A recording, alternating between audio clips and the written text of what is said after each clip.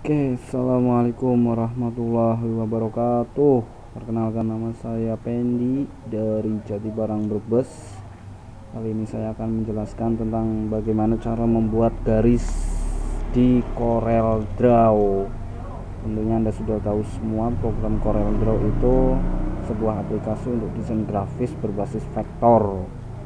Oke, langsung back to, to the to the topic bagaimana cara membuat garis di Corel Draw? Nah pada tool-tool yang sebelumnya anda sudah tahu ya. Kalau anda ingin membuat brosur mungkin anda cukup setting kertasnya A4 atau F4 atau legal atau letter. Silahkan. Terus kita langsung saja bagaimana sih cara membuat garis sangat mudah di Corel Draw kita bisa gunakan ada banyak ya di sini. Ada freehand tool ada bezier uh, ada pen tool polyline ya. Three point curve connector. Nah, saya lebih suka menggunakan tool bezier. Kita langsung saja kita klik bezier ya. Dan kita langsung bisa membuat garis kita cukup menggunakan klik kiri satu kali. Klik.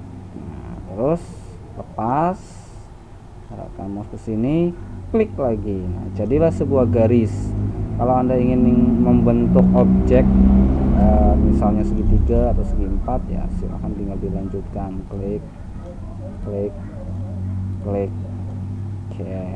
Terus untuk mengatur uh, kesesuaian Anda bisa menggunakan tool shape ya shape tool. Klik. Nah, dan Anda geser-geser silahkan disesuaikan ya.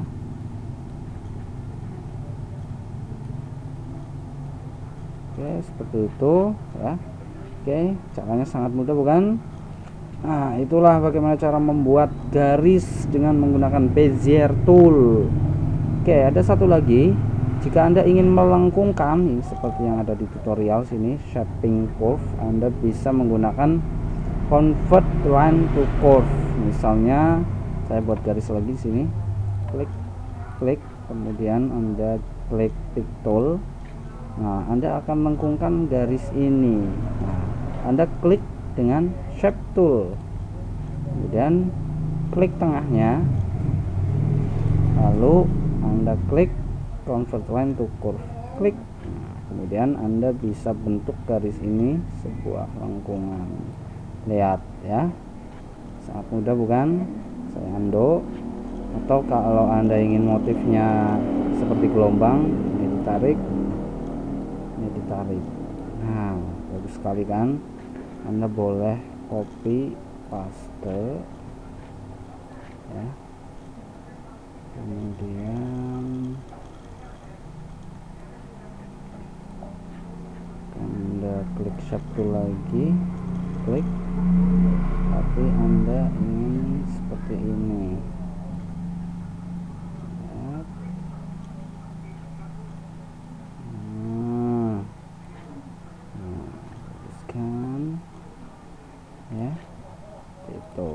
itulah bagaimana cara melengkungkan garis dengan shape tool ya.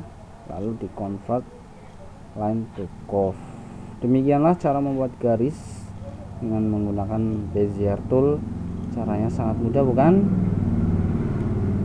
Mungkin untuk membuat garis cukup dulu saya akhiri. Assalamualaikum warahmatullahi wabarakatuh. Sampai jumpa di tutorial berikutnya